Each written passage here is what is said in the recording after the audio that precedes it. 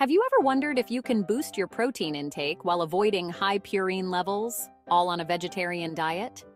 Today, we'll dive into some surprising plant-based foods that not only pack more protein than eggs, but also keep your purine levels low, perfect for those concerned about gout or simply looking to stay healthy. Welcome back to Healthy Eats and Wisdom. On this channel, we explore nutritious and delicious ways to enhance your diet and overall well-being. Today, we're tackling a unique challenge, finding vegetarian foods that offer more protein per gram than eggs, but with much lower purine content. If you're aiming to manage gout or just want to learn about healthy plant-based protein sources, this video is for you. Let's get started. First, let's talk about eggs. Eggs are often celebrated for their protein content, containing about 13 grams of protein per 100 grams. But did you know they are also extremely low in purines with almost 0 milligrams per 100 grams? This makes them a safe option for those worried about purine intake. But what if you could get even more protein from plant-based sources while keeping those purines low? Before we explore those options, it's important to understand the purine levels our bodies can metabolize.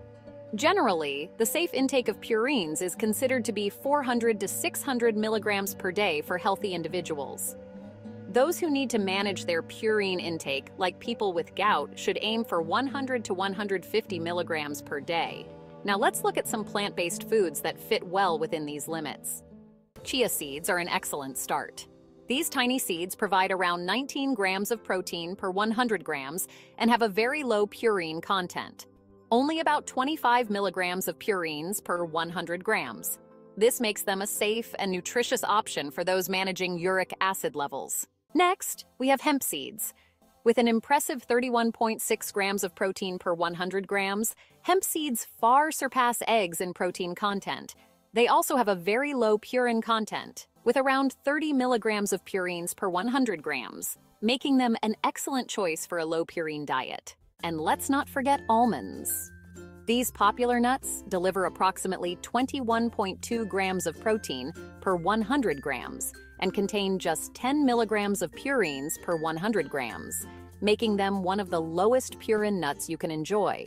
And to put it all in perspective, while eggs are often celebrated for their protein content, these plant-based foods not only match or exceed the protein found in eggs, but do so with significantly lower purine levels. This means you can enjoy the benefits of high protein intake without worrying about increasing your uric acid levels, which is crucial for those managing conditions like gout. Incorporating these low purine, high protein vegetarian foods into your diet is a win win. You're fueling your body with essential nutrients, all while keeping your purine intake in check. Whether you're dealing with specific health concerns or simply striving for a balanced diet, these options provide an excellent alternative to traditional protein sources. Thank you for watching today's episode of Healthy Eats and Wisdom. If you found this information helpful, don't forget to give this video a thumbs up and subscribe for more content on healthy living. Share your thoughts in the comments below. What are your favorite vegetarian protein sources? Until next time, stay healthy and wise.